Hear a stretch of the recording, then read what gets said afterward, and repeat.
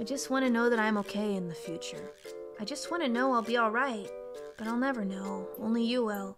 Tell me, future me, will I be okay? It's time for a new entry. Diary writing with my deadbeats. I'll write a little entry at 4 a.m. on my phone. Dear Diary, it's been many years since we last spoke. I don't call men males anymore. That was strange. Let's not do that ever again. I became a VTuber. I stopped only caring about reaping and boys and proving myself and trying to find worth in myself because I became an adult. It's not so bad. I really like all the things that I'm doing right now.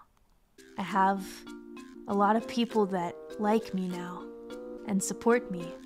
All I had to do was open my heart and be open and be kind and make mistakes. Lol. I'll even put a little LOL in there for old time's sake. And yeah, life isn't perfect and there are many sad days, but every day is fun. I'm glad to report that it all turned out okay in the end.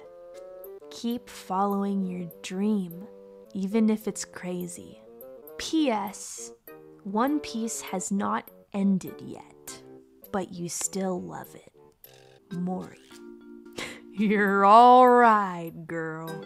You're alright. Also, Gurren Gun still rocks! MCR still bangs! Ian from Smosh, he's an alright looking dude. It's over.